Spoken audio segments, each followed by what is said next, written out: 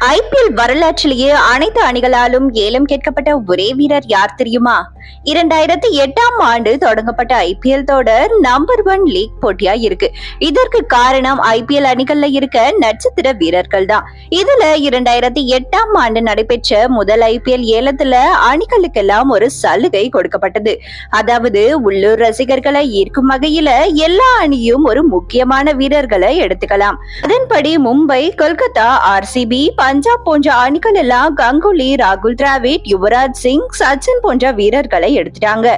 அப்ப வீரேந்திர சேவாக சிஎஸ்கே எடுக்க போறதா பேச்சுவார்த்தை போயிட்டு இருந்தது ஆனா அதற்குள்ள டெல்லி அணி அவரை எடுத்துட்டாங்க. இதனால தோனி ரெய்னா ரோஹித் சர்மா ஹர்பஜன் சிங் போன்ற வீரர்கள் எல்லாம் இருந்தாங்க. இதுக்கு அப்புறம் ஐபிஎல் ஏலம் நடைபெற்ற போது அனைத்து அணிகளும் தோனியை விலைக்கு வாங்க போட்டி போட்டாங்க.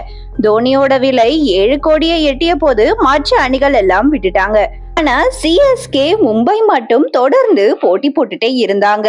இதனால ஒரு கட்டத்துல தோனியோட விலை பன்னெண்டு கோடி போன அப்ப இரு அணிகளுக்கும் பேச்சுவார்த்தை நடைபெற்றது.